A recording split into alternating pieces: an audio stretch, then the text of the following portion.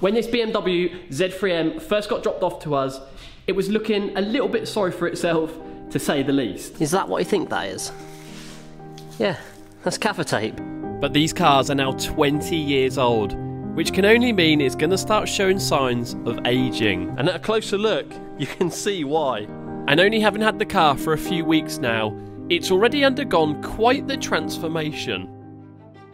We've tidied up the engine bay, we've restored the headlights, and refurbished the calipers with replacing the brakes and getting the wheels powder coated, which gets us up to this point.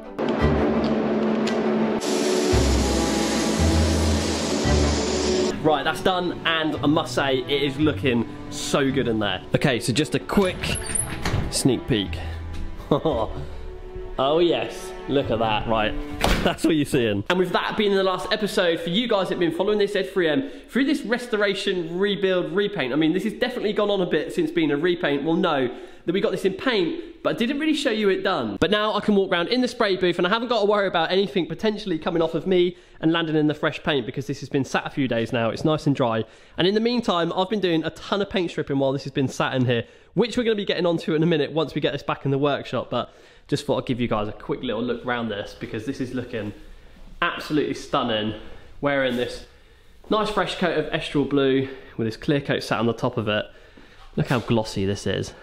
Really, really nice. And I know it's only a roof and pillars, but I'm just so pleased that this part of this repaint is done because we can now get this back in the workshop, polish this up, take all this bag off, and then we can finally start getting this rebuilt. As I'm still waiting for BMW to still drop us off a load of parts for this so we start getting it back together once it's been polished, it's just gonna have to sit aside for the time being because I have so much prep work to do on all the panels for this. And when I say I've been doing a lot of paint stripping lately, I wasn't exaggerating. Look at the size of this damn bonnet. This thing is absolutely humongous. I mean, I'm just slightly six foot and this isn't much shorter than me in height like this way. It's absolutely huge. But the good thing with this is i'm probably wrapping up half a job in one panel because i mean if you think about it it's actually like half the size nearly of the actual car.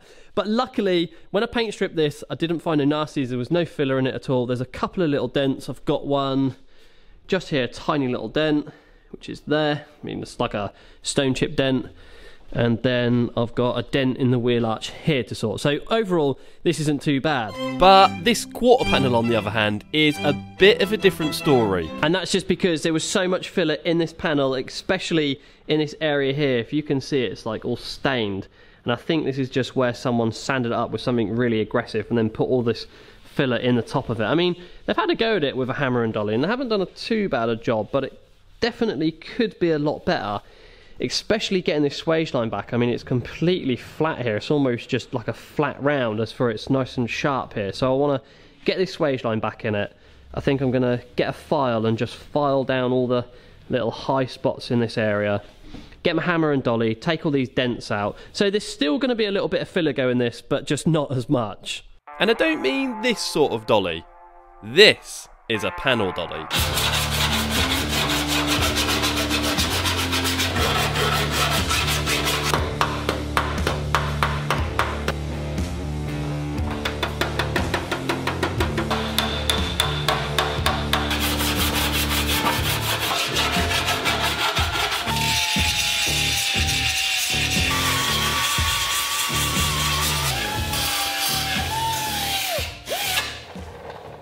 This is now feeling so much better.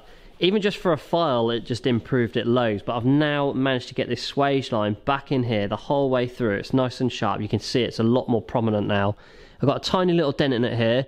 Got a tiny little dent in it down here, which I'm going to sort out. But overall, I mean, yeah, I'd get this now with just a thin skim of filler, which is going to make this such a nice repair. This quarter panel overall isn't actually all that bad. There's a tiny little dent going on in in the swage line there. But overall, I mean, yeah, this is really good. There was no filler in this whatsoever, so this I know is going to be nice. I might even be able to just get that out with my hammer and dolly and not put any filler in that at all. That would be that would be nice. And now I'm happy with the repairs on these panels. I just want to get a bit of epoxy primer on the areas that I've repaired. So I'm going to get a bit of epoxy primer in on the front there a bit on this wheel arch here. Might see a little bit of filler, but I reckon I'd block that out of the epoxy primer. That's actually really nice and straight. And considering how bad that was before, it was all kinked and dented in here.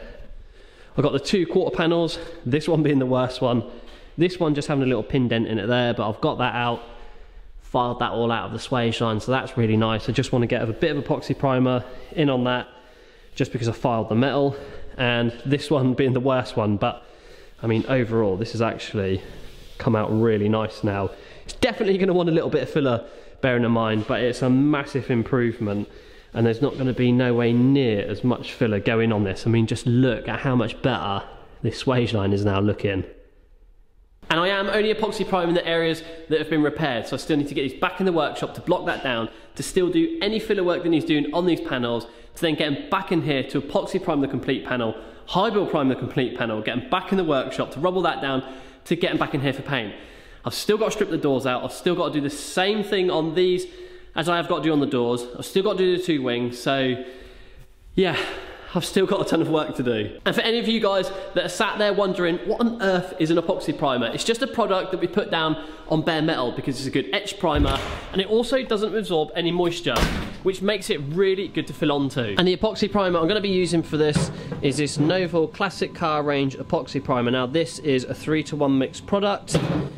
It's a two pack product as well, with this being the hardener, this being the epoxy in here. So two nice coats of this on them panels is going to seal up the metal, it's not going to let any moisture in, and it's also going to give us a really nice foundation to fill onto. And now the epoxy primer is down on these panels, I need them to sit for a few days to fully harden off so I can fill onto the top of it without worrying about any shrinkage or sink backs.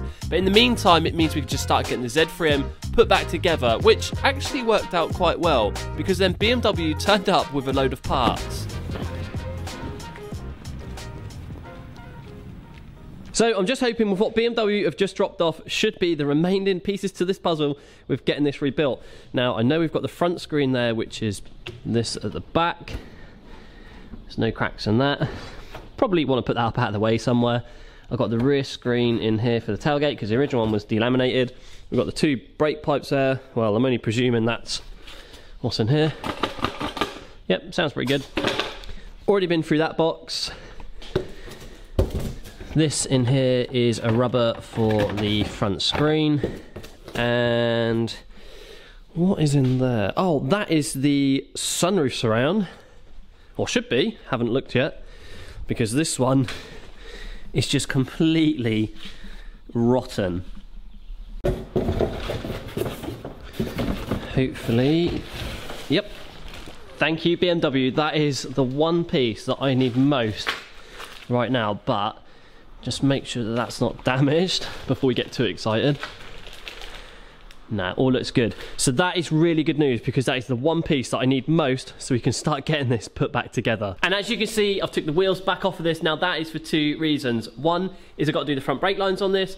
And two, the car sits a lot lower on the ramp and it's just gonna make my life a lot easier with getting this polished up. But before I start doing any polishing on this whatsoever, this next bit is gonna probably surprise some of you, if not most of you, because believe it or not, I actually have to sand down the paintwork that I've just put on this to polish it up to achieve the finish I want. And that's mostly due to getting a couple of these little paint nibs, and they are tiny. To remove them, I use a bit of 2000 wet flat paper on a block, which ends up like this.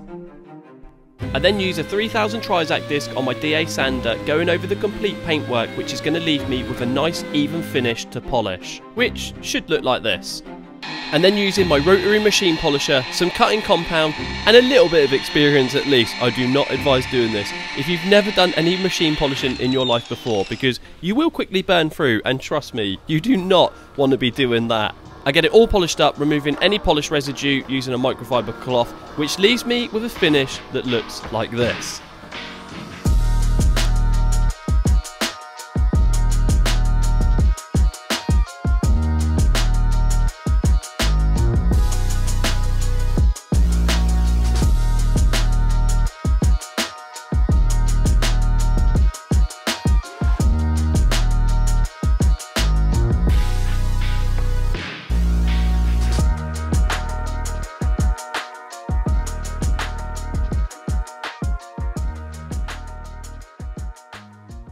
Now this bit's done, we can finally start the rebuild with getting this put back together, which means I can now organise for Paul to come back out to get the screen back in and the sunroof surround, and we can really start putting this back together, which is all going to come in the next few episodes. So I hope you've enjoyed this video, guys.